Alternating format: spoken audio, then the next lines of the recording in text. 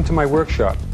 I'm going to attempt on this video to present and demonstrate some basic tools that I hope will be of some use to you in the pursuit of music. Whether you use this in the making of your own music or simply with the intent of bettering your understanding of the process of making music.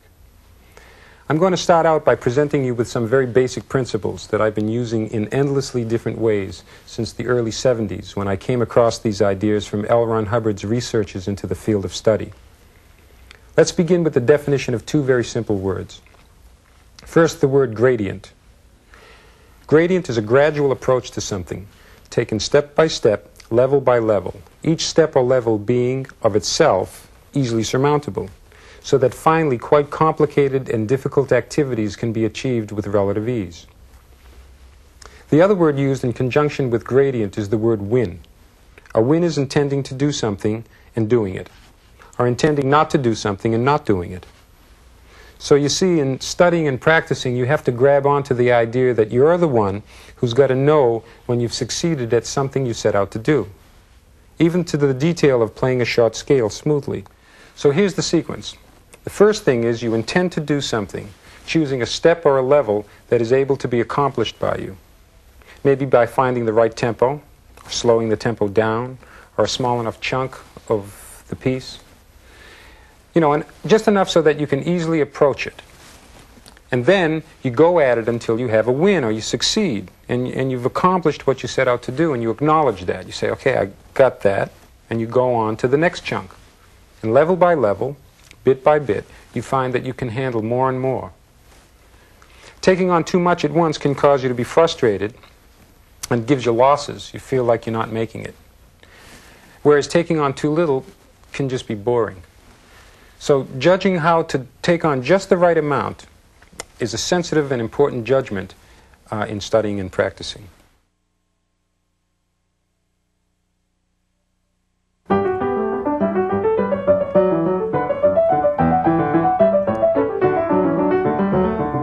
Oops. Okay, that's a little fast now, especially getting into this fifth bar. Uh, fingering here. Now let's see.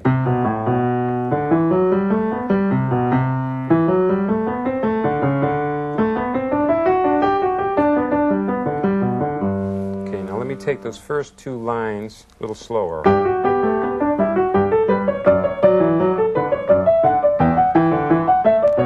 Oops.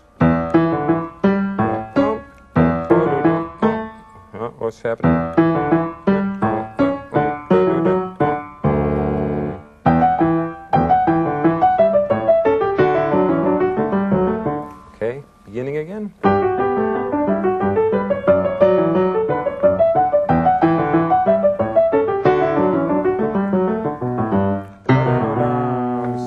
Make the transition from this bar to that bar. I goof up right in here. Let me look at the left hand now. Two, fingering is two, three.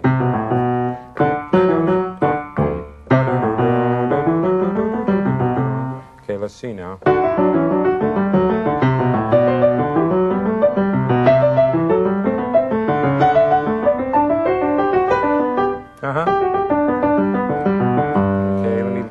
Left hand here a little slower. Uh,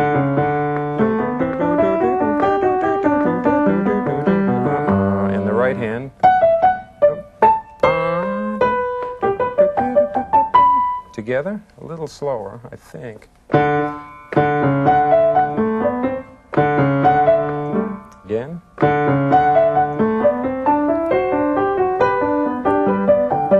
Oops. I'm going to really slow it down.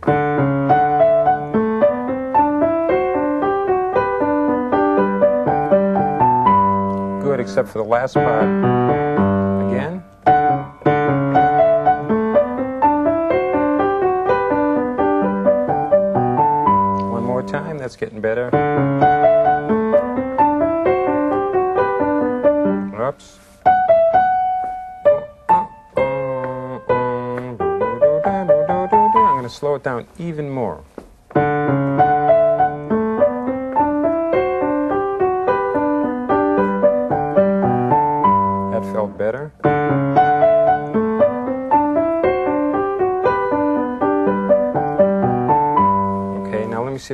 Put the second four bars together, which are the hardest for me right now.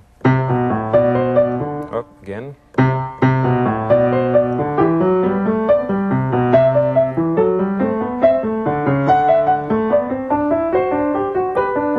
Uh, fingering there, that's what's goofing me up. I end on the thumb, and then I got no place to go after that. So that's got to be 3 2. 3 2.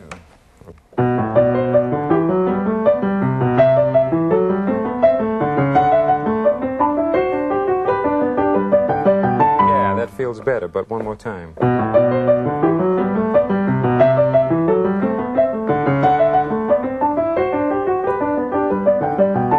Wow, that's pretty good. Let me try it one more time.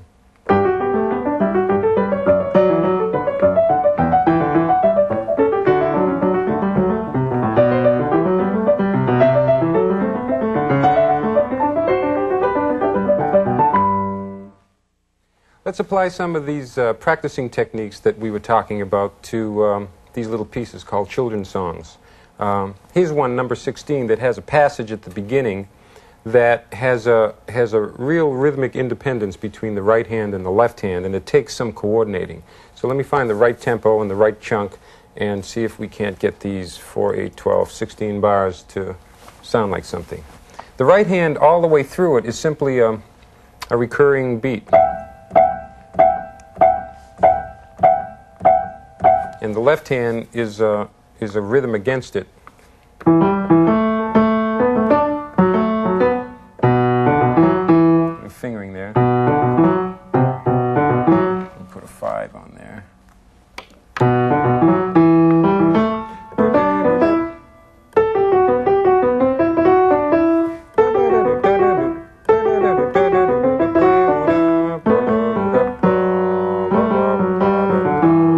That's the left hand part. So let me see if this is the right tempo.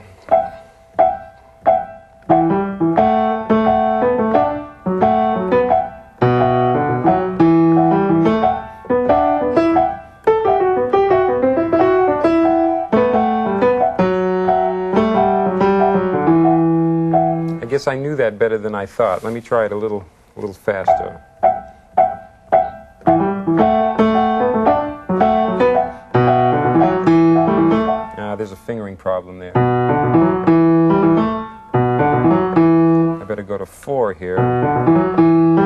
So I can play those next notes. That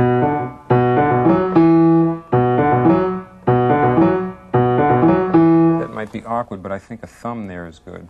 And then a four there. Let's see. Here we go.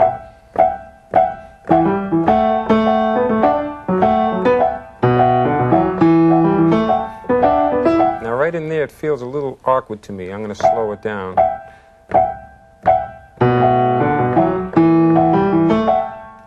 That's it, right in there. That little chunk is a little tricky, so me slow that down again. I'm going to make a loop out of this just to get it real settled in my hands.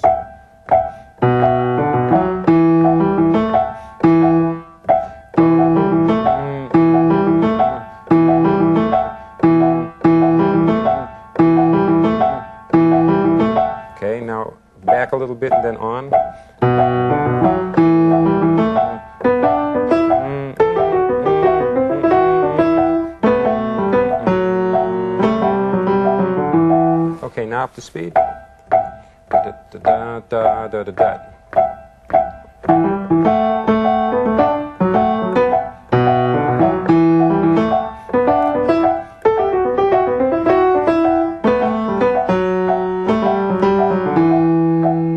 That worked out okay. Now, with playing, I find that most musicians want to play with a flow. That means with an uninterrupted motion.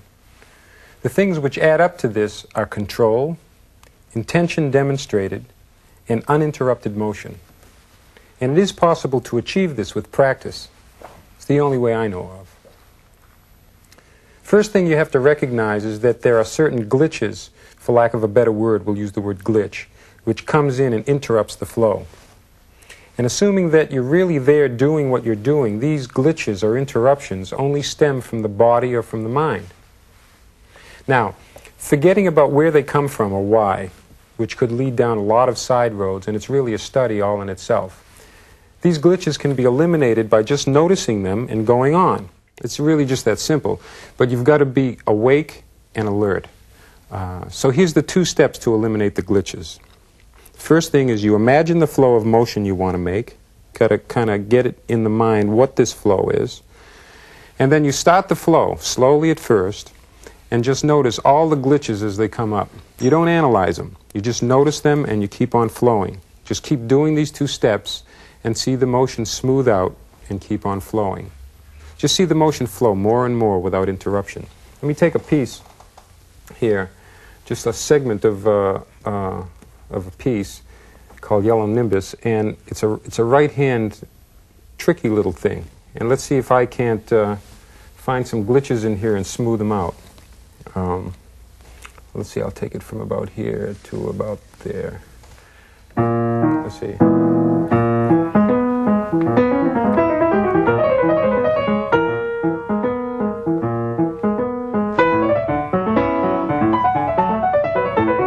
Okay, there's, there's the first glitch right there.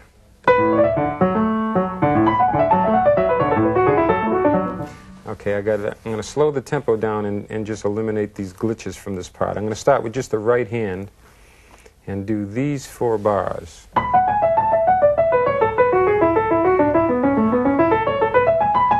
There's a little glitch at the end that you maybe couldn't hear, but it's actually there. One more time.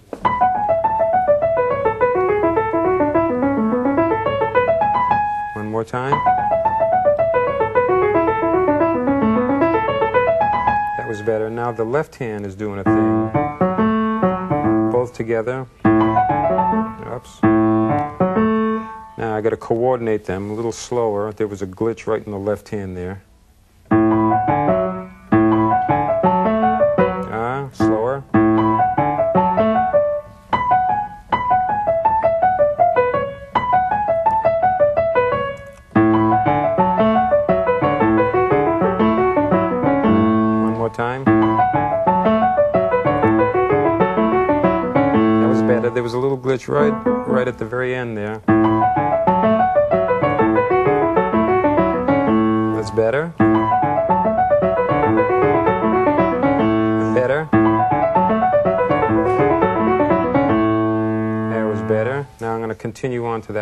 Little bit.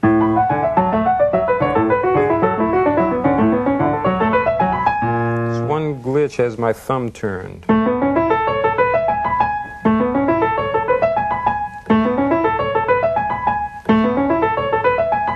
Okay, now I'm going to imagine that motion just flowing, and I'm going to try and do it and see if there are any more glitches right in that six bars.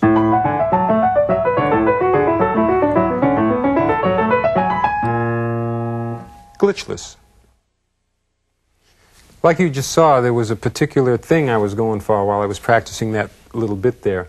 And uh, I thought it worth mentioning that uh, when you set out to practice, uh, you ought to set a goal for yourself, like have a particular intent about what you want to accomplish, whether it's just like a little phrase, like what I just did, or, or a longer thing, just so that you know what you're going for. It kind of keeps you on the road. Thought I'd just drop that in for you.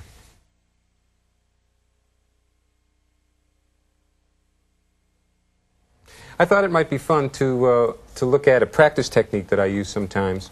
And um, it kind of gets me real separate from my hands. Because what we do, you remember we talked about a flow, establishing a flow. Well, the idea of this is to keep a regular, a regular flow of quavers, notes going, uh, uh, kind of without interruption, and, and, just, uh, and just move, uh, move around the piano, but, but weave the line with two hands rather than play a line with one hand.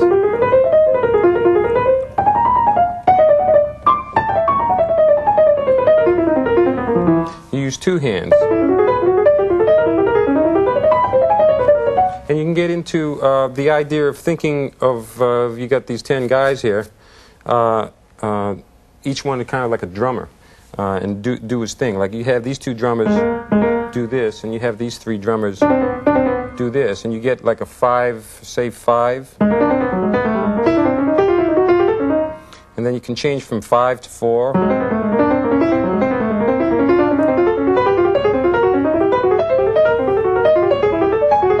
And get these guys coordinated.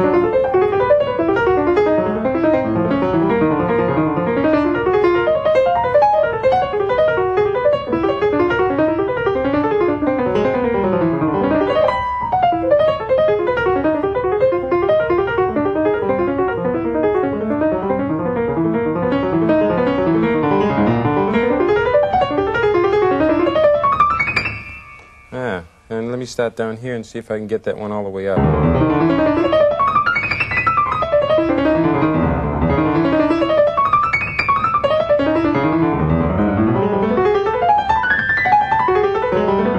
just patterns.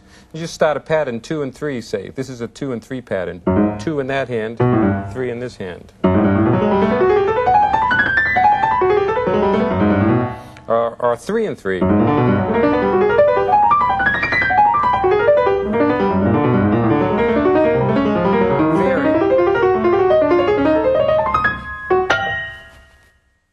Let's take a look at a standard song now. Here's, here's a piece called Easy to Love by Cole Porter.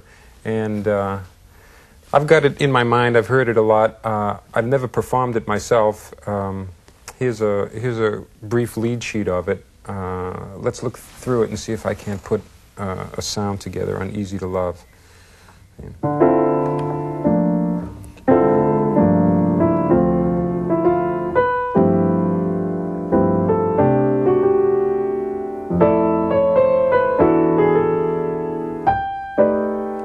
That sounds wrong.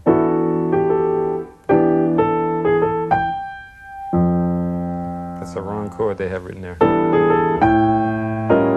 There. Okay.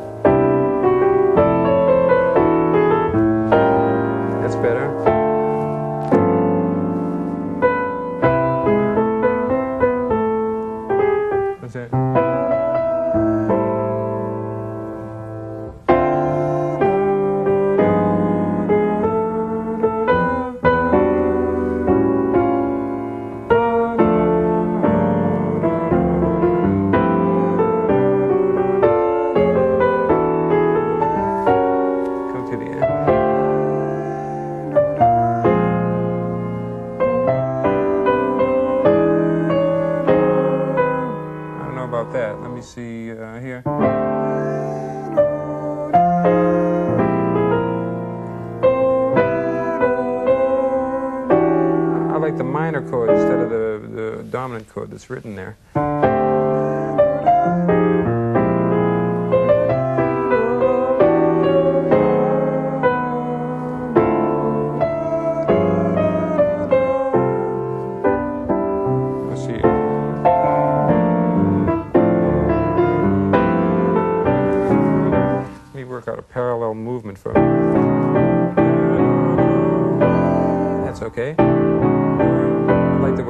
Spreads out. Starts there and then it goes that way. So let's see.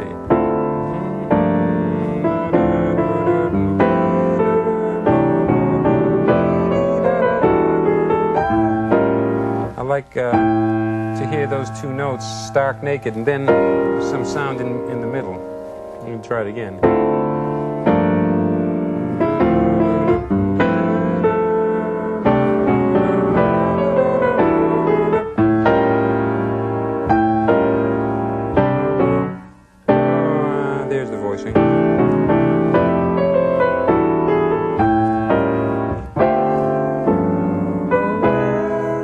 That raised five sound. I wonder if there's a passing chord in there. Um,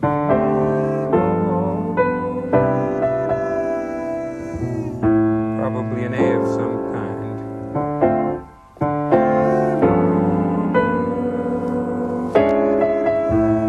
Could do that. but I'll keep it standard for, to, for now.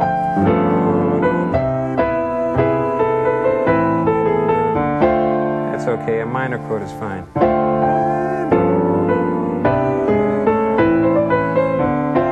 The little, the little uh, inner voice helps, helps move, uh, move it for me.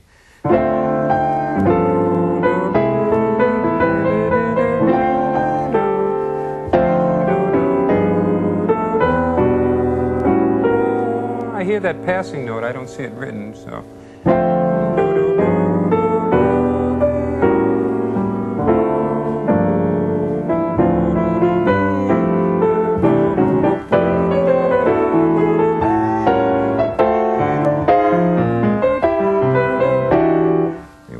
This little turn here.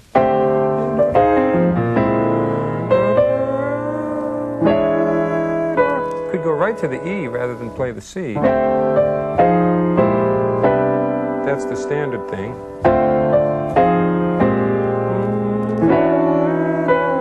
I kind of like that. I think I'll keep that.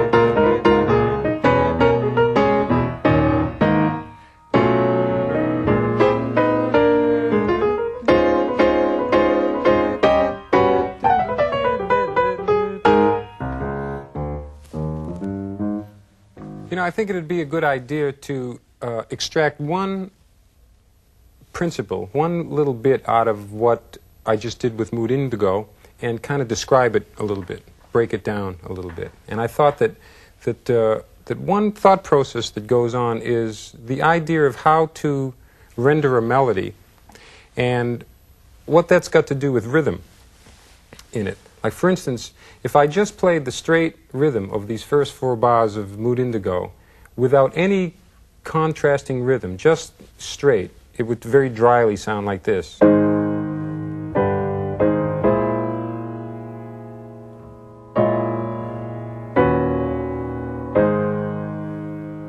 Okay? So that's, that's one rhythm, it's the rhythm of the melody. Now, I suggest that what happens is uh, uh, you can put rhythms in various rhythmic contexts. Like, for instance, if you think of what the drums does, what a drummer might do underneath this, and if he's just playing a, say, a, a slow swing beat that goes like this,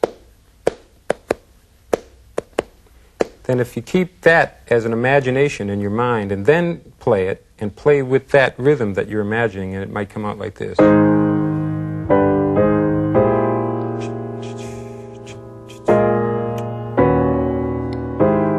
All of a sudden, that has a little bit more life to it, and then and then keeping that basic rhythm,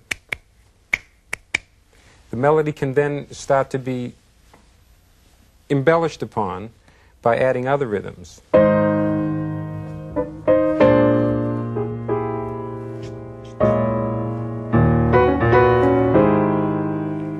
Double rhythm that goes on there while this goes on. If you can imagine that going on. Mm.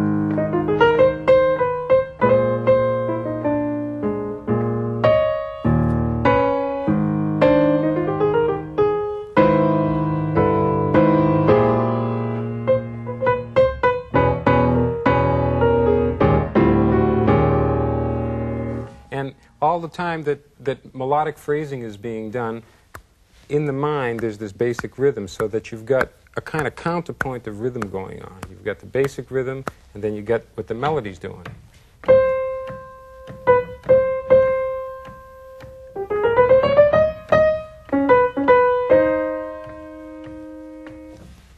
Maybe that's helpful. The blues is a universal communication.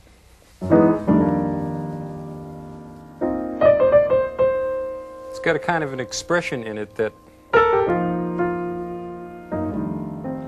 it's kind of immediately recognizable. Also, just the way it feels.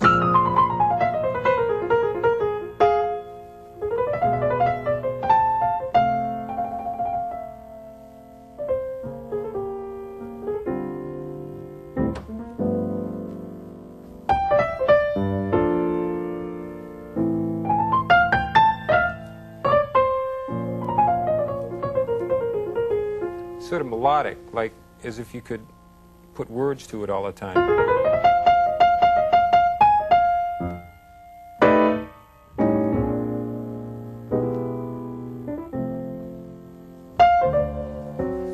Everybody knows the progressions, so it's not a big shock. And you know I'm going to do. And now you know I'm going to do.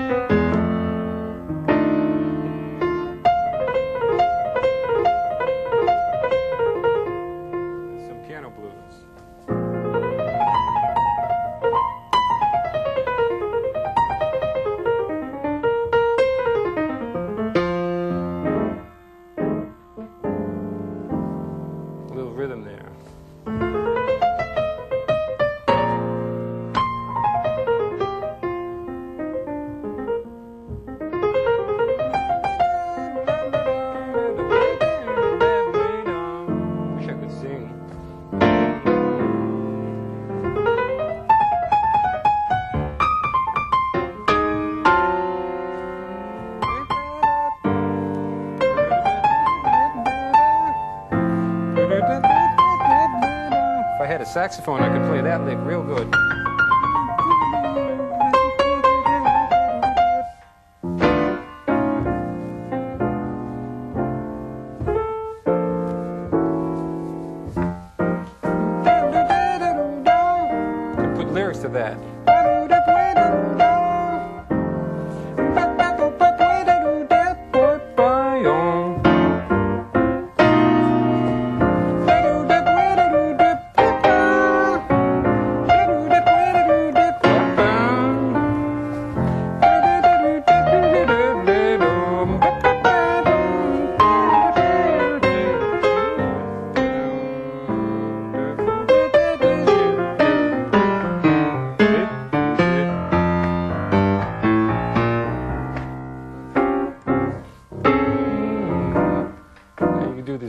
Kind of thing too.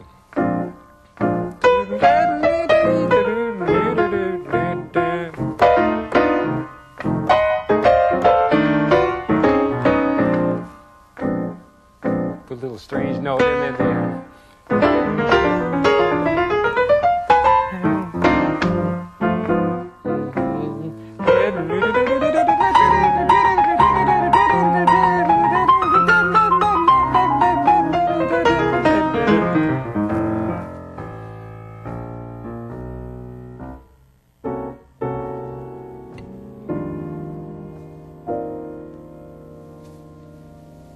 Expressive music.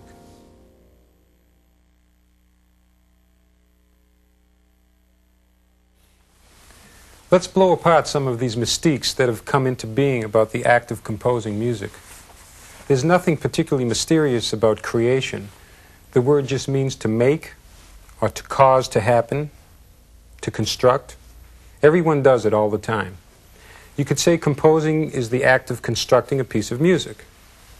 So let's start again with the simplest of guidelines, because if these decisions aren't made that we're going to talk about here, the result could be a lot of wandering around. So let's consider these three steps. The first one is decide what you want to compose. You just get an idea of exactly what you're going for.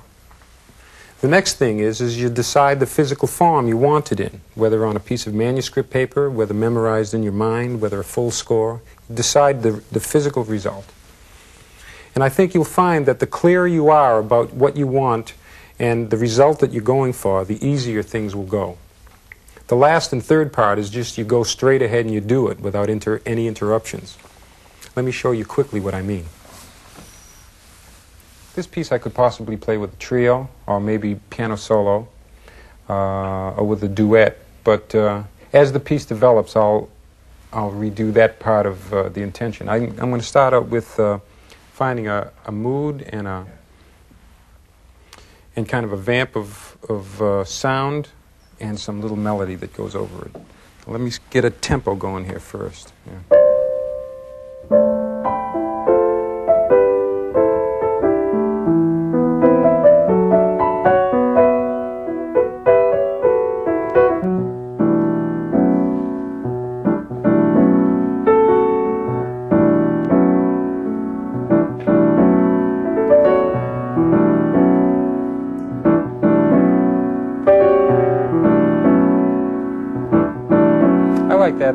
I better I better jot better jot that down so I won't forget it.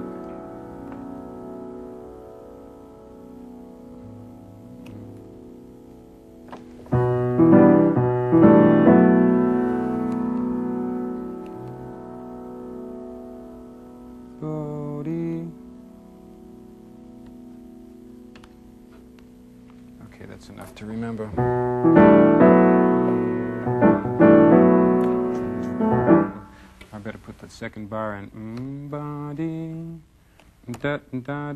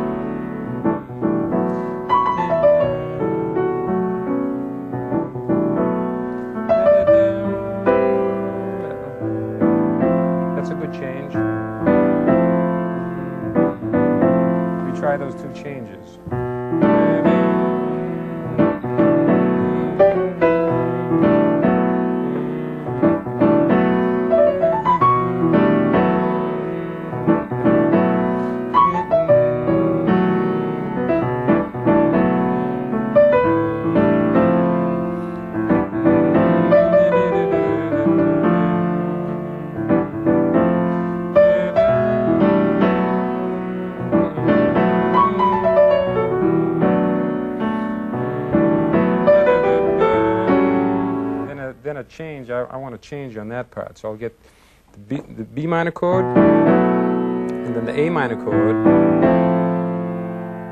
and then back to the B minor chord, and then make some sort of a change after that. Let me try it again.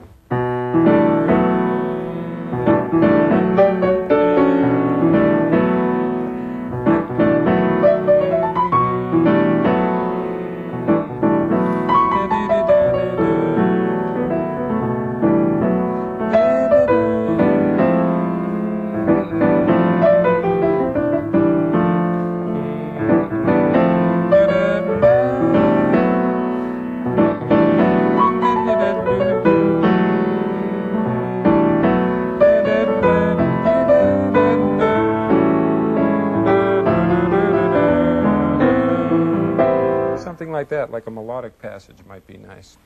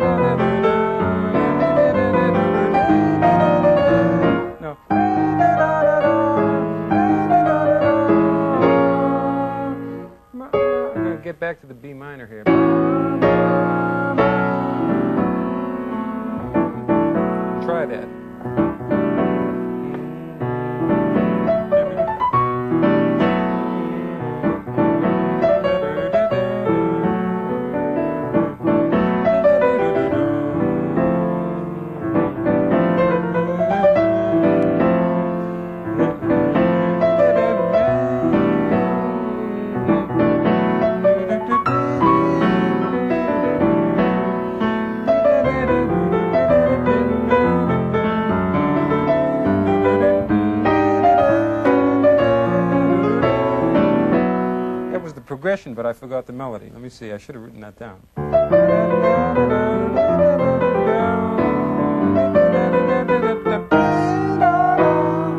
Me do that. Let me.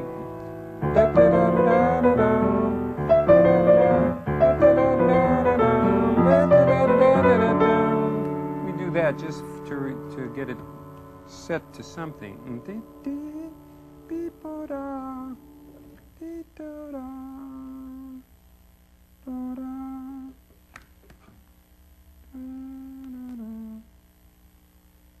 Just write that much down and remember that it goes through the changes. Yeah,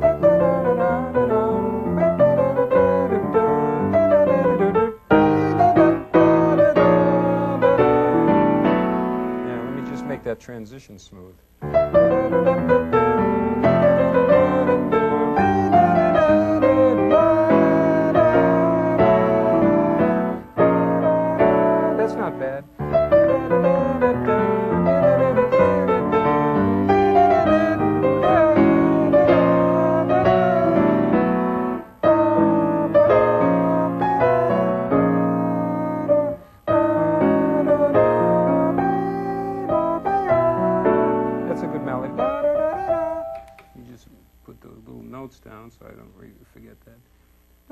That. There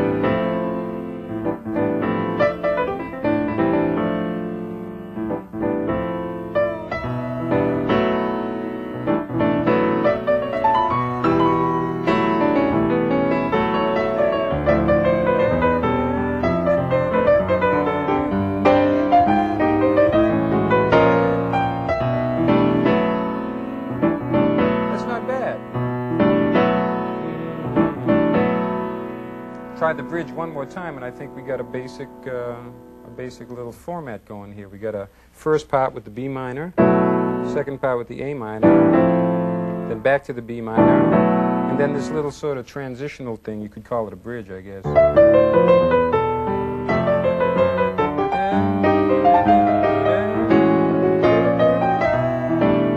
back to the top again.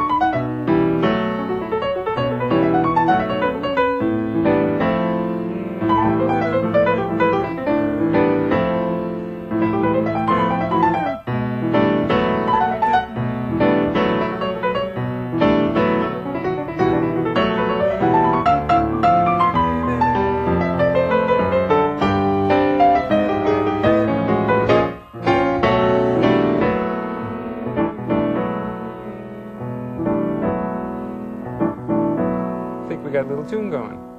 Let's have the intent of uh, using this piece with the trio later on, with bass and drums. And now I'm going to kind of get into it and, and uh, develop some line playing and some ways to get through the form to make it feel good. So, let me see what we got here. The sound of this chord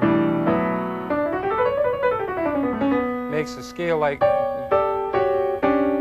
like that sound better than a scale like this. Although, depends on how it's used. I'm going to try and make a scale like this.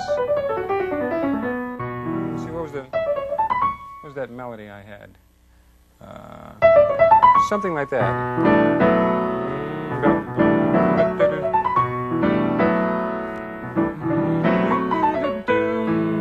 Something that where the where the the note lands on the one with a little phrase that goes up.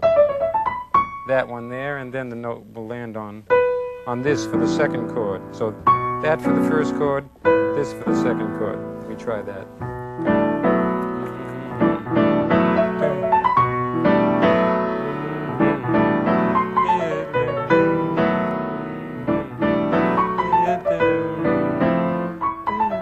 Yeah, that's better. Coming out of the B minor into the A minor.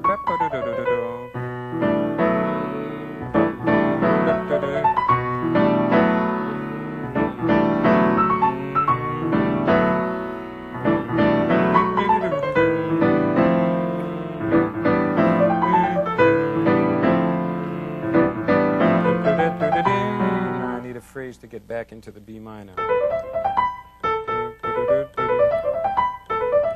Something like that. Um,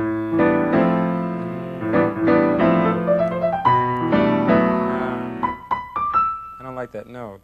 Um, let me try that.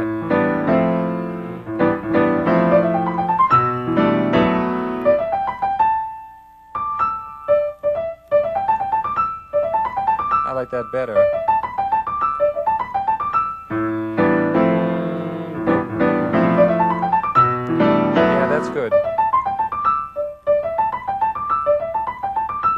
Triads.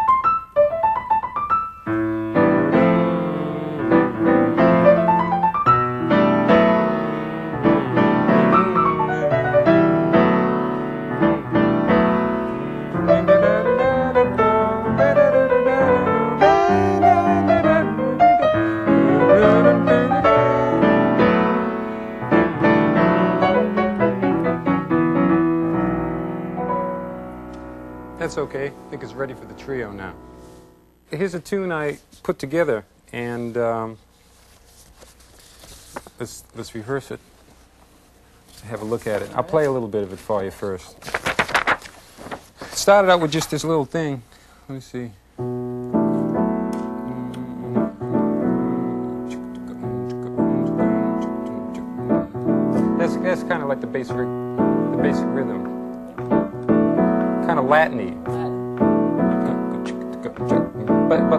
Tippy, you know, like you were playing on the on the ride cymbal. Yeah.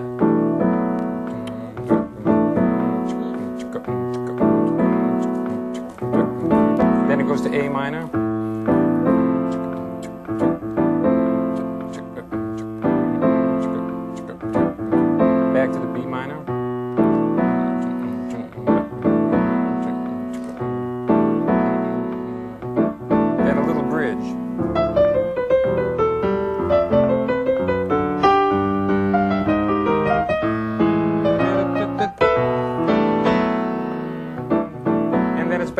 Back at the top again. So it's just like B minor, A minor, B minor, the little bridge, and back up at That's the top. it. Okay. The only other uh, thought that I had about this rhythmically was that was that the, the B minor, A minor, B minor part could be like all, all Latin feel, Latin-y kind of feel. And then when we hit the little bridge, let's try, just, just to see how it feels, to try some 4-4 in there. Okay. Swing. Yeah, swings. Swing. Bring us back around uh, four bars back to the top. Okay. Um, and then I, I didn't write any kind of I didn't write any kind of bass line, so just uh, wide open to invent something. Okay. All right, cool. Let's try it. Okay. I'm just gonna. I don't have a melody for the first part. I'm just gonna play the uh, the, the pad, and uh, let's just play it around to get an idea of the form. One, two, a ding, ding,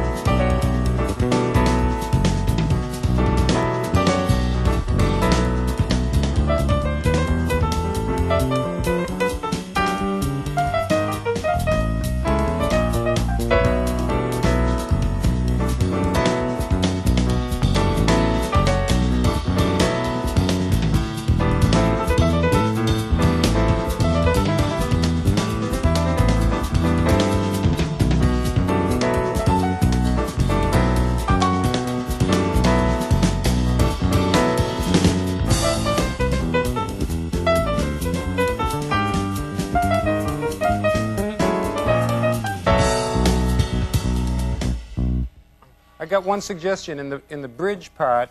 Um, there's two two things to try and grab, Tommy. That that on the second bar, that that last G, the one that goes. That one there, and then uh, and then the very last lick of the bridge. Let's let's let's see if it sounds all right to play da da da da da. I like that.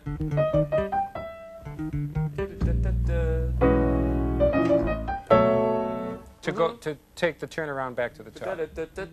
Yeah. Okay. Let's try right on the bridge. Okay.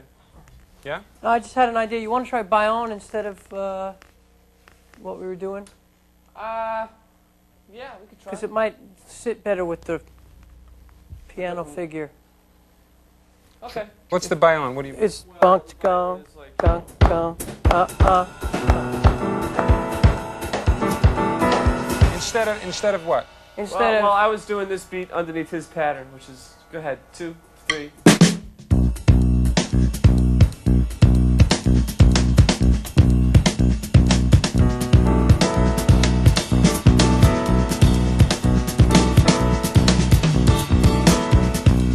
You know, you know the the baião the baião beat uh, is is better as a basic, I think, as a as a basic thing, and then that that's a great variation yeah. The only thing to about kick it. You know. the the only thing about it is his bass drum is hitting a sixteenth note apart from your second hit because you're going one e and da da da da bam, and he's going one dum bam. Uh huh. So oh, yeah, that's okay. why.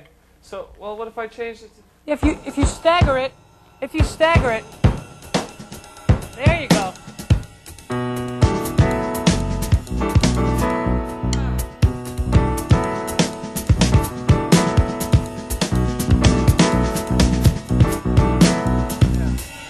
That's too heavy now. I, I think yeah. it's better if we just do I did the baião. baião. baião probably better. Yeah, but play that other beat you were playing. It was it was it was uh, it was kind of sparkly. If you could maybe change one thing about it, play that other one. The baião works. Now, Okay. let, let's just check the other one. two, three.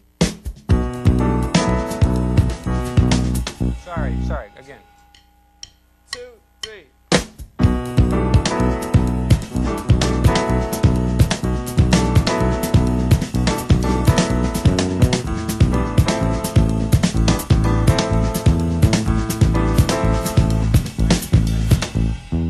It. It's nice. I know what you mean. There's a there's a note that goes Yeah, da da. it, Well, I, I'm, I'm, I'm hitting that with the snare drum though. Let well, me it's hear- too let me- much too much on the bottom. To me, it's too, a little too dusty. I mean, it gets cluttered. Let me a hear just bit. let me hear just the drums and the piano part. Right. Two, three, four.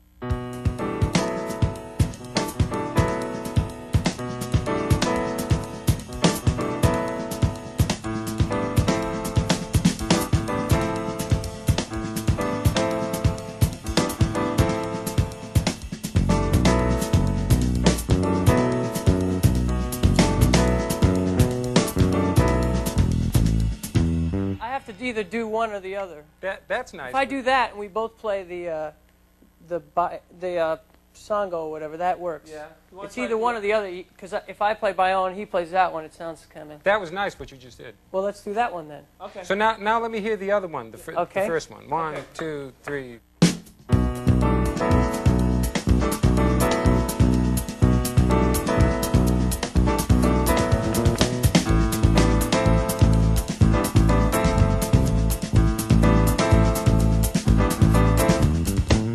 That definitely grooves harder. Yeah, I think the baião is one? better. I like that grooves harder. Use that as a basic, and then if you jump into that other thing, you we'll can look at each other maybe later have on a and have with a the variation on it. Okay. I tell For you the what, let's try let's try this thing from um, let's take uh, one chorus of the drum solo part where we leave out that last four bars for you. Start there on the drum solo, Mm-hmm. and then uh, and then take one chorus of the melody uh, with the baião beat, and then uh, after one chorus of the melody, we stay on the vamp B minor, A minor, develop that for a while to an ending. Okay. Okay. Right on the break. One, two, three, four.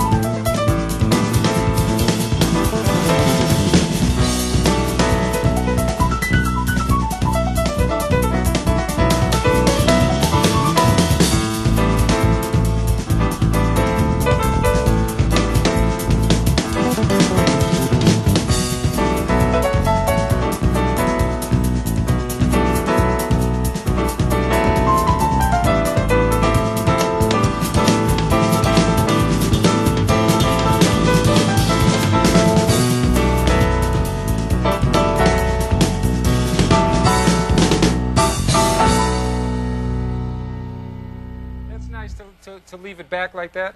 Let's do that. Just right on the B minor. Da, da, da. Okay. Right at just the last B minor part. One, two, three, four.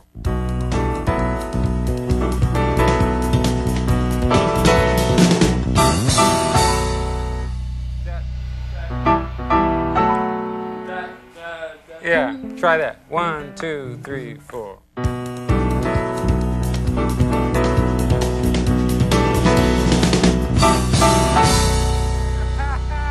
That's cool.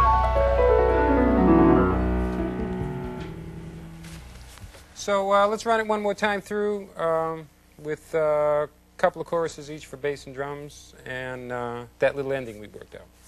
Okay? A one, two, three.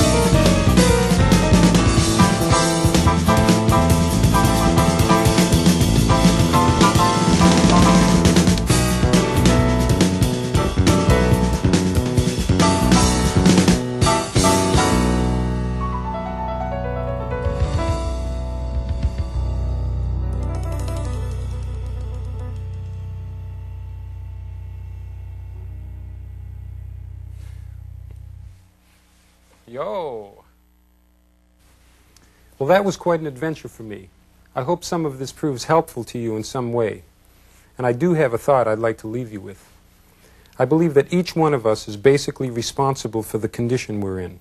Whatever abilities or lack of abilities we find we have, we've had a definite hand in bringing that condition about, and we can change it. Each of us has the power to make things happen, and we're the only ones that can truly cause improvements with ourselves and with music and with our lives. So when you decide to study, when you decide to expand and improve, take one thing at a time, accomplish what you set out to do, set out to do things that you can accomplish and win at. Get all distractions and counterintentions out of your way and go ahead and win. I know you can. What else is there to do anyway? I'll see you later.